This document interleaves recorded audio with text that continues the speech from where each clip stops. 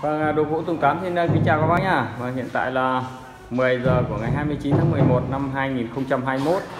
Vâng thì em đang có mặt tại à, thị trấn Quốc Oai, Hà Nội để bàn giao cho anh anh tên là Quảng nhỉ? Anh Quảng một bộ ghế um, Minh Quốc đào chim chất liệu gỗ gụ ta đây. 100% là chất liệu gỗ gụ. Và hiện tại em đang uh, kê trong phòng khách của nhà anh Quảng. Và bộ ghế này là giới thiệu qua quý vị là nó cột 12 nhá.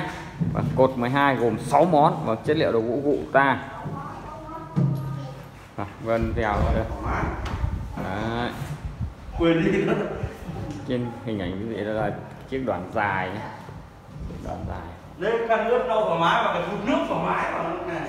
Vân theo rất là đẹp. Không phải hốt gì cả đây mai Đấy, thì đến chú này- chú chơi đồ gỗ mà chú biết rồi. Chân chân chuyên đi chở đồ gỗ. Thế hàng ngày mình có xe đi chở thế này là lái xe nó đi à? Ông bố em. À hả? Em ông chạy đi. Thế ông bao nhiêu tuổi chứ mà vẫn chạy xe? 60 à là 60 vẫn chạy xe cả? Vâng. À, thế vẫn khỏe đấy. Chạy uh, suốt. Ừ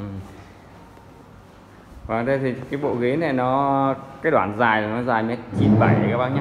Dài mét 97 và hai ghế con là dài là 85 đo theo mặt khuôn tranh sâu là 63 phân và thì trên thị trường là cái chất liệu gỗ cụ ta này bên nó rất khan hiếm mà các bạn ạ. Vâng, để tìm được một bộ ghế ờ, gỗ cụ ta là bên nó rất là khó và nó không như gỗ hương đá, gõ đỏ thì nó rất sẵn. Nhưng gỗ cụ ở đây gần như hết rồi.